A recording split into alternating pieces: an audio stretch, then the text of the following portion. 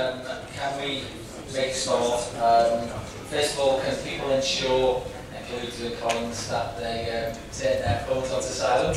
And uh, if speaking, can we get as close to the microphones as possible, as you can see?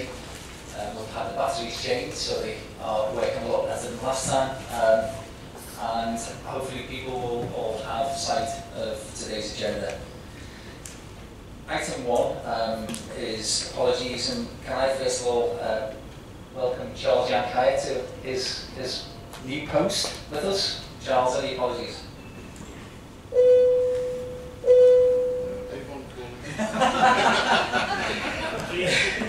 Yes, thank you very much. Um, apologies from Councillor Ian Maher, Right Honourable Jane Kennedy, Reverend Father Dr. Helen Logan, Councillor Shelley Powell, Councillor Emily Spurrell, David Parr, and Eric Robinson. Any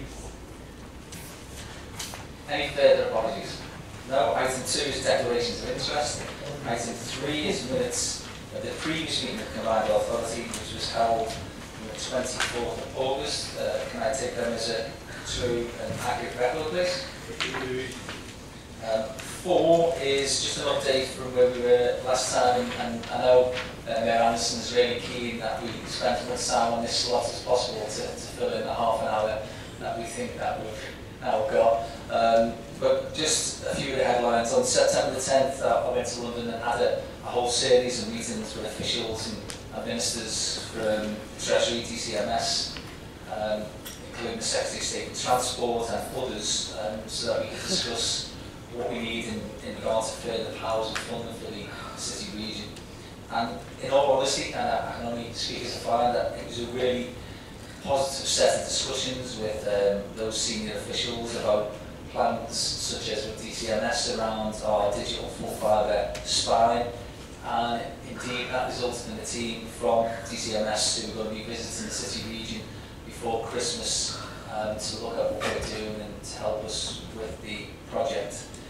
Uh, it was an interesting meeting, and we've just been discussing this with the Secretary of Transport, Chris Grayling, um, where he and ourselves discuss issues facing Northern Rail and problems with TPE, um, and particularly uh, the stuff that's happened with the introduction of the new timetable, which resulted in travel chaos for, for many commuters. Uh, he has signalled um, his support for Crossrail for the North, as we call it now, which is being known as Northern Powerhouse Rail, and also for the city region to take further control of the Merseyrail network, which is something that we are only at the very early stages of even talking on at headline um, figures with.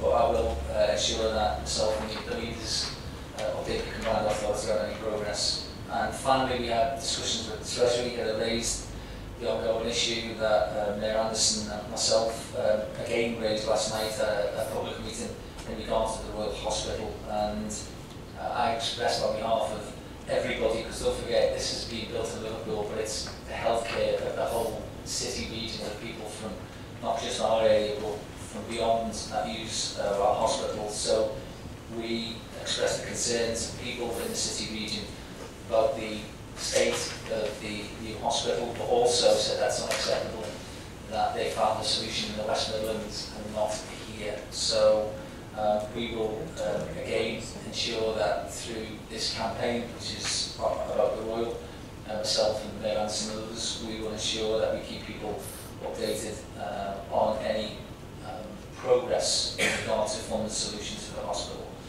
Um, but I think the time, as was said last night, is for the government to actually act and never mind about further discussions on what should happen. Um, um, Joe and Councillor Phil Davies, I had the unique experience of meeting with Jean-Luc on um, Wednesday, I think it was, from Royal uh, de Luxe. And I think Monday, um, we uh, looking forward, I think everybody's looking forward to the third and final instalment of the Giant Saga, which will be here in Liverpool and on the Wirral. That happens in just a couple of weeks' time now. And I think we're going to have huge numbers of visitors to the city region and to the city centre. And those crowds could be uh, a million, million plus, maybe a million and a half but the, it's likely that they will generate 80 million pounds for the local economy. And as leaders will know, it was the combined authority that helped to support uh, this uh, as a, a, a cultural initiative. And uh, we are looking forward to seeing those people coming in and seeing themselves what the city region has to offer. Um, I think it's going to be bigger and better than anything and Joe knows the story, I don't, but I'm told that it will be an emotional roller coaster for us all. On Monday, um, I met with the Jewish Leadership Council and representatives of the Jewish community across the city region. And whilst many of our local authorities have signed up to uh, the IHRA definition of anti-Semitism, And I thought it was an appropriate juncture where we ourselves um, commit to that. So uh, paper will come to the next uh, meeting of the Combined Authority where we formalise this. Uh, I'm sure everybody will be concerned that the latest figures from the Community Security Trust which show that national instances of anti-Semitism rose by 30% in the first six months 2017 and they couldn't remain at record levels. So we all know this, but our city region has a proud record historically of welcoming people from all over the world, from all backgrounds and all faiths, and that continues today. And that's why uh, there's no excuse, not in our city region, but nowhere else, for anti-Semitism in any section of society. And the IHRA definition commits the combined authority to fight this pernicious and unacceptable form of racism. So um, the leaders, I think, are all very supportive of what we're doing on, on that particular issue. With that said, uh, we'll move on to item five, which is a rolling stock update. And the report itself, I think, is self-explanatory, but I'll ask uh, Councillor Liam Robinson, who's the chair of the Transport Committee, just to say a few words of support. Yeah, that, Steve. And as you say, the, report is very much self-explanatory, but uh, if you allow me, I think it is really good news. Uh, it's obviously the product of some negotiations and dialogue we've been calling for a long period of time. Uh, and I'd personally like to thank everyone that's been involved in getting it to this stage, which obviously is all the members of the combined authority, uh, our officer teams, but also the delegation representatives from the RMT uh, union, particularly some of the local reps I think have really stepped up to the plate and, and come up with an agreement in principle that is really, really good for us to, to move forward on. It is obviously an agreement in principle, so there is more work uh, that needs to be done that we will be doing in earnest, over the next few months, uh, particularly looking at the kind of lasting financial uh, package to make this work and we'll be focusing uh, for our contribution on those elements within the existing railway financial envelope, both in terms of savings, uh, but also the potential for additional charges uh, for users. But lots of detailed work that we will be doing. Uh, I'm looking forward to, to doing all that and sealing a full, uh, a complete agreement uh, that actually works for everyone, both users and staff on our rail network. Thank you. Are there any questions? Uh, Councillor Long. Not so much a question, uh, Chair, just uh, reiterating uh, uh, Councillor Robinson's uh, views about the uh, uh, congratulations to people who've actually contributed a lot of time and effort and sweat and, and hard work to actually get this sorted out. Um, sort of leads the point of it being sorted in principle. That's enormously welcome and so thank you to Councillor Robinson for doing that as well. I just pick up on the, the observation in terms of the impact of the financing of this, that clearly this is a, a, a fantastic outcome in terms of rolling stock and, and making sure we can deliver that. But obviously it's the benefits within the Merseyrail um, uh, area, the Merseyrail franchise. So therefore the cost must also be borne within the Merseyrail franchise as well. So that's a, that's a, that is a welcome piece of information as well. But overall, a fantastic outcome and uh, hopefully we get, uh, get it over the line. Thanks for that. And, and of course, there are financial consequences that need to be borne from this uh, agreement. But at least I think now we can start to talk about the substance of what the combined authority um, has been able to achieve. It will be the first publicly owned rail um, stock, rolling stock in the whole country. and with um, the potential for further movement, um, we as a combined authority, I think taken the lead in transport issues uh, for the UK, so others may well be looking at us obviously in the future we can talk about the substance of what we've been able to, to achieve. Um, again, with that said, uh, are the recommendations set out on page 9 and 10 in this report agreed?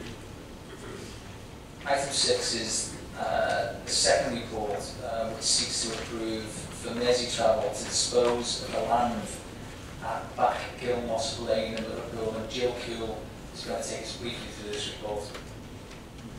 Thank you. Um, the report asks for the permission from the Combined Authority to declare the land as surplus and to sell land on as a disposal. Uh, the report is self-explanatory. If there's any questions, I'm happy to take them.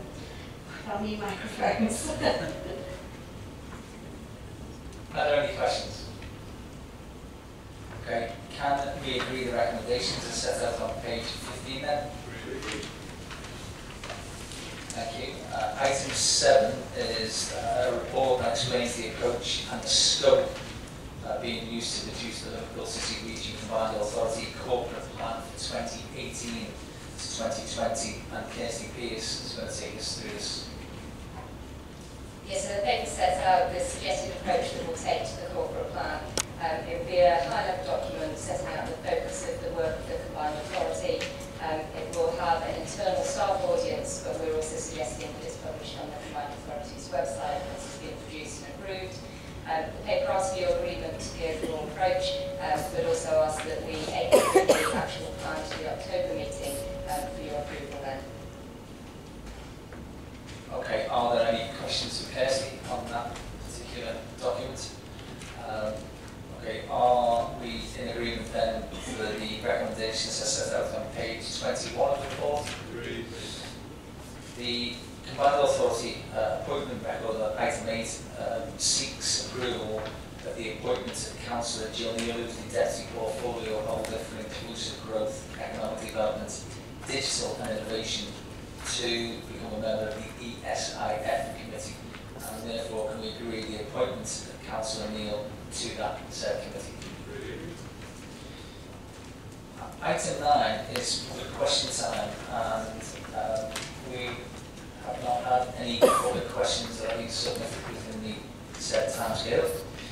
So item 10 is uh, petitions and statements, and again, we've had no petitions or statements that have been submitted within the timescales for deliberation at this meeting. So we'll go on to item 11, which is the minutes of the Transport Committee held on the 9th of August 2018. Um, Liam, anything on that? Uh, well, just as read, I, I suppose the only thing I'd point to is obviously we're highlighting the meeting how we're continuing our campaign a city region to get two trains an hour from Lime Street down to London Euston, because that's absolutely vital for our growth as a region into the future. Absolutely. Um, item 12, therefore, so, oh, so that amendments, uh, they're just for noting uh, 12, sorry? Yeah, definitely, can we confirm, but I think Joe, you already said it, he? Yeah. Um, 12 is the minutes of the Overview and Scrutiny Committee, and uh, can we confirm the minutes of that committee held on the 25th of October 2017, the 24th of January 2018, and the 18th of April 2018, and the 1st of August 2018, please.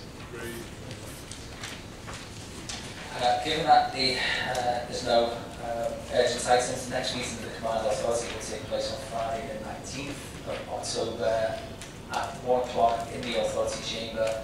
Um, thank you for your attendance. I declare the meeting closed.